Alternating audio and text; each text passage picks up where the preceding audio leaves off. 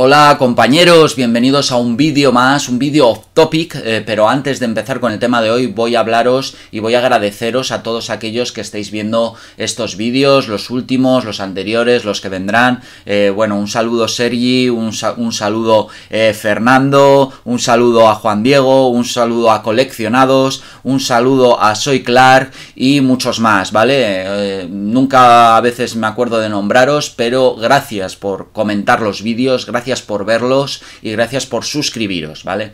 Bueno, en el vídeo de hoy tenemos algo un poco, como he dicho, off topic. ¿Por qué? Porque el otro día fui a casa de mis padres y me encontré con un bote como este que era de eh, pelotas de tenis, un bote viejo de pelotas de tenis. Y dentro no había, lógicamente, eh, bolitas de este deporte, sino cosas como esta, que os lo voy a acercar para que lo veáis. A ver si alguno os viene a la memoria. A mí me vino ipso facto y me acuerdo de cuando era niño y jugaba a estos tazos de metal que se llamaban los rappers, ¿vale? A raíz de esto empecé a investigar un poquito y en el vídeo de hoy, un vídeo pequeñito, vamos a recordar esta bonita etapa de la infancia, que aunque no tenga que ver con los videojuegos ni con el PC, creo que es bonito hacer un vídeo de esto. Además, no he visto casi nada por ahí aquí en España, así que creo que puede molar muchísimo.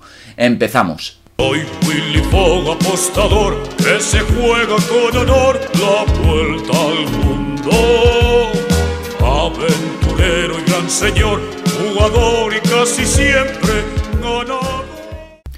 No todo eran videojuegos en los 90, aunque sea nuestra pasión y nuestro hobby hoy en día recordar jugar y coleccionar aquellos titulazos que nos volvían locos. Si echamos un vistazo al pasado, claro que llegaba tu cumpleaños o Reyes y te hacía ilusión cuando te regalaban aquel Super Mario Bros. 3 de NES o el Super Mario World para la Super. Quizás seáis más viejunos y lo flipabais con el Spectrum o el MSX, pero lo cierto es que crecer en los 90 nos dio la posibilidad de hacer otras muchas cosas interesantes entre el regalo de Reyes y alquilar en el videoclub para ver la peli del momento o alquilar un juego para exprimirlo como locos el fin de semana. Te reunías en el recreo o a la salida de clase para jugar con tus compañeros a lo que estuviese de moda ese año, o a los siempre presentes fútbol, peonza, canicas o comba, según gustos. Por aquellos 90 siempre me acordaré de los tazos, un mítico de las colecciones.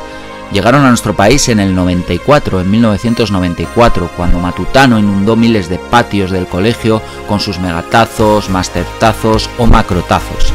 La cima de la vida se alcanzaba en aquellos momentos si te hacías con un portatazos para ir del patio a clase y a casa sin perder ninguna unidad por el camino. Los matutazos eran circulares, medían aproximadamente una pulgada de diámetro y tenían impresas en su cara delantera unas divertidas ilustraciones protagonizadas por algunos de los personajes de la Warner Bros. En su cara trasera, por contra, encontrábamos determinada información relacionada con el propio tazo, como la, categoría a la que pertenecía, eh, su numeración dentro de la colección o los puntos que valía. Esta cara estaba pintada en un color diferente dependiendo de la categoría del tazo, azul, amarillo, verde o rosa.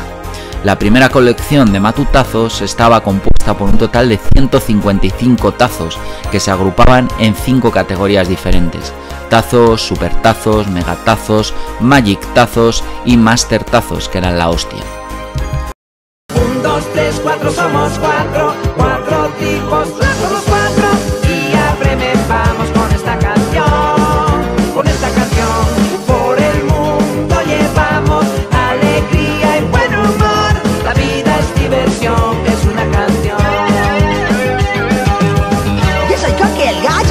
Lupo el perro. Yo burlón el gato. Yo tonto el burro. Y a todas partes vamos con este son cantando esta canción, locos por la música, locos por la música. Un, dos, tres, cuatro, somos cuatro, cuatro tipos, locos los cuatro. Otro suspiro de nostalgia noventera para mí eran los gogos. Sí, sí, los gogos, ¿a qué os suena? Los gogos son figuras pequeñas que se volvieron populares en 1995. Como curiosidades, y para no extenderme, estos gogos se inspiran en un juego que se practicaba en la antigua Grecia eh, llamado Astragalus, que los niños jugaban con nudillos de oveja, también recibe el nombre de tabas de la época de nuestros padres. Los gogos están hechos de personajes moldeados de plástico. Hay muchos gogos diferentes, cada uno tiene un rostro y un nombre único. Los distintos cuerpos de las figuras hacían que rebotaran en diferentes formas, volviendo algunos gogos más ventajosos que otros. Los gogos fueron prohibidos en muchas escuelas en el Reino Unido porque fueron causa de muchas discusiones y distracciones durante las clases. Y como estos gogos, hubo muchas más modas noventeras. El diablo, por ejemplo, que eran dos palos unidos por una cuerda, y este diablo en medio que teníamos que hacer bailar, subirlo al cielo y cogerlo hábilmente.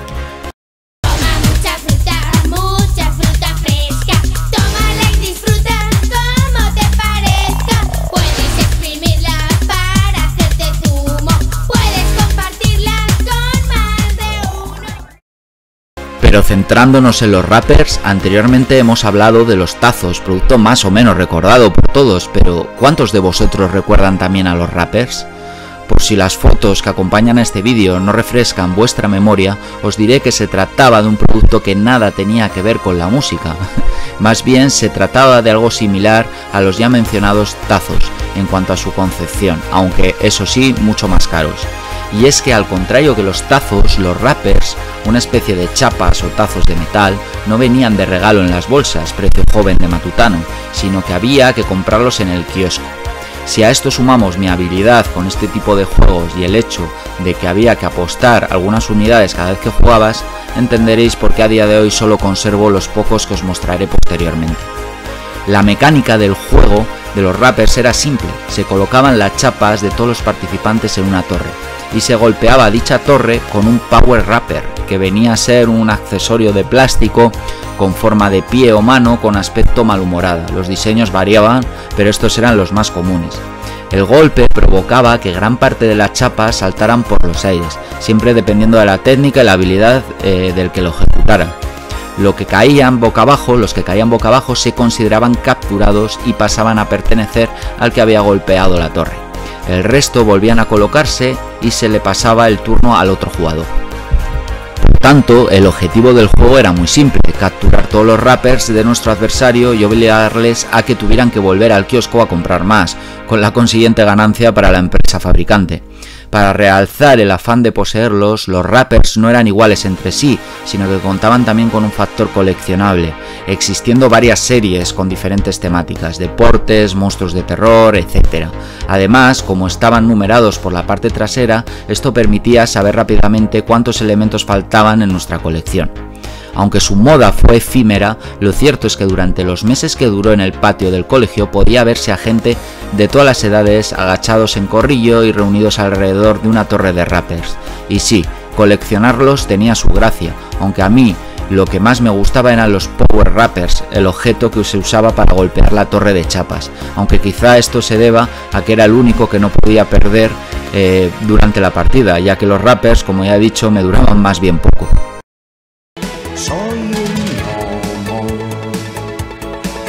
simplemente con todo lo que piensas tú podré adivinar.